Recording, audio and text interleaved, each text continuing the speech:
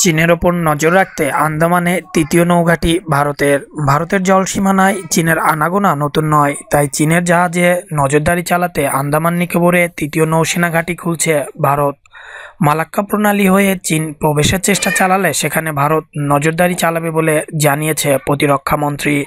চীনের নৌবাহিনীকে নিয়ে আশঙ্কা রয়েছে ওই অঞ্চলে, তাই এই সিদ্ধান্ত। মোদি ক্ষমতায় আসার পর ওই অঞ্চলে এয়ারক্রাফট ও জাহাজ মোতায়েন করে বিশেষ নজরদারি চালানোর ব্যবস্থা করেন। এবার তৈরি হবে আরও একটি নতুন ঘাঁটি। নয়ে বেস উদ্বোধন করবেন নৌসেনা প্রধান সুনীল লাংবা। পোর্ট বিলারে সেই বেজের নাম আইএনএস কুয়াশা যা থাকবে তিনশো কিলোমিটার এলাকা জুড়ে। হেলিকপ্টারের জন্য থাকবে এক হাজার কিলোমিটার রানওয়ে, পরে এটি তিন হাজার কিলোমিটার পর্যন্ত বিস্তৃত করা হবে।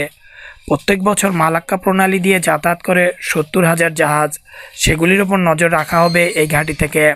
পরবর্তীকালে আরও বেশ সংখ্যক জাহাজ মোতায়েন করা হবে বলে জানা গিয়েছে।